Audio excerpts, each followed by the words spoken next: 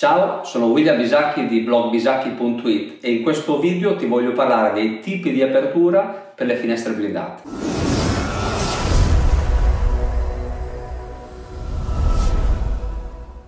Ma prima di tutto, che cos'è una finestra blindata? Per vedere che cos'è una finestra blindata puoi vedere tutti i video che ho fatto in precedenza, i video sulla sicurezza antifrazione e sulle classi antifrazione. Quale è giusto scegliere per la tua casa? In sostanza è una finestra che ti deve dare la sicurezza per proteggere te, i tuoi cari e le cose a te care all'interno dell'abitazione.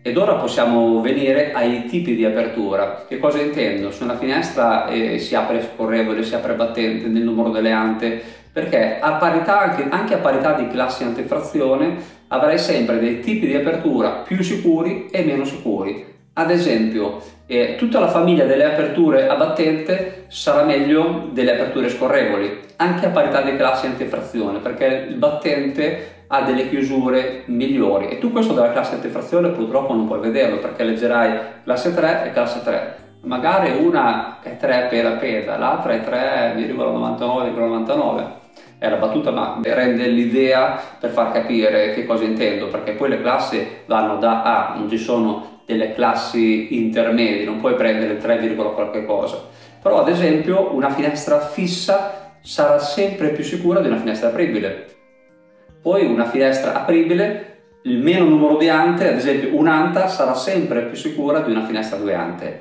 Quando parliamo di finestre invece 3, 4 ante, lasciamo stare perché lì è meglio che iniziamo e che smettiamo di parlare di sicurezza perché la sicurezza è inesistente. Ci sono solamente alcune soluzioni a pacchetto dove hanno tutte delle, chiusure perimetrali che garantiscono una discreta sicurezza, con una classe antifrazione non si arriva a livelli estremi ma non c'è male, ma anche quella sicurezza di classe 2 sarà molto molto molto meno più sicura di una finestra un'anta, di una finestra fissa o di una finestra due ante.